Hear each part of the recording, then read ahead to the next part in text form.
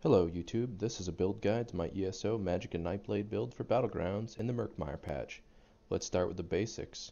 The race is Argonian, and this is important. Argonians get great sustain from their potion passive, 9% increase to their max health, which helps a lot in PvP, immunity to the minor defile and poisoned proc from disease and poison damage respectively, a 3% increase to their max magicka pool, and 5% increase to their healing done and healing received to help us keep ourselves alive.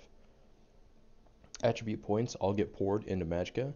We will have enough health from other places, and we do we make do with a small stamina pool by fully restoring our stamina on demand with the Argonian passive.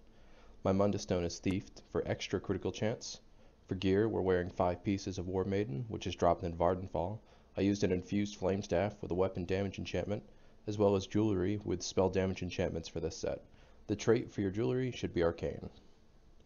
The next is the Bright Throat's Boast set, and again we're wearing all five pieces, chest, legs, gloves, belt, and shoes for my choice of choices of slots for this set. All the traits should be impenetrable, and all the enchantments should be max magicka. Finally, our monster helm set. For this, I picked Nerien'eth monster set. The one piece health bonus helps us achieve a good amount of health, and the two piece bonus helps us keep enemies off objectives and battlegrounds. If you don't care so much about area denial, I'd swap this one out for something more to your playstyle. Uh, mine, my set is light armor. You can make it heavier medium if you want those passives instead. It'll also trigger the undaunted passives. Personal choice here. Finally, the back bar weapon. I run a restoration staff that has two pieces, uh, a two-piece bonus for magicka recovery. This helps counter the hefty cost of permanently cloaking ourselves with shadowy disguise. Uh, for the trait and enchantment, these are up to you. Defending, powered, and infused are all good choices. I went with powered just because it's what I could find for sale real easy. Uh, I didn't bother transmuting it. Uh, it's good, good trait, served to me well. I haven't bothered to change it for that reason. And I put a damage health enchantment on it.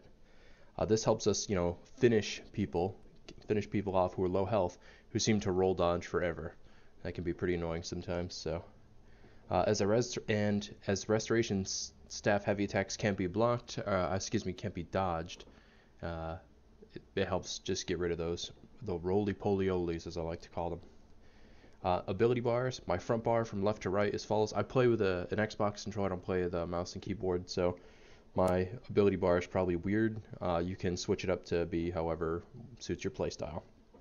So my front bar from left to right is Swallow Soul from the Siphoning skill line, Inner Light from the Mages Guild skill line, uh, Merciless Resolve from the Assassination skill line, Structured Entropy from the Mages Guild skill line, and Elemental Drain from the Destruction Staff skill line. My ultimate on this bar is Shooting Star for the Mages Guild skill line. A lot of people prefer the Icy Meteor. I just stick with this one. I like the ultimate back on, uh, on hit.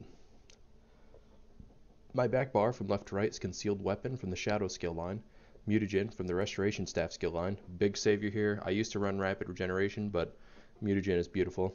I swear by it. Shadowy Disguise from the Shadow skill line. Siphoning Attacks from the Siphoning skill line. And Mirage from the Assassination skill line. My ultimate on this bar is Lights Champion from the Restoration Staff skill line. However, I often find myself running Veil of Blades in objective game modes where I don't have to be as mobile, uh, and that's because it gives longer duration for major protection and deals tons of damage who, uh, to people who try to stand on the objective, and lasts quite a bit longer, like almost 100% longer than the Restoration Staff ulti. So, uh, yeah, and if you have any questions, feel free to leave a comment. That uh, concludes the build. Good luck.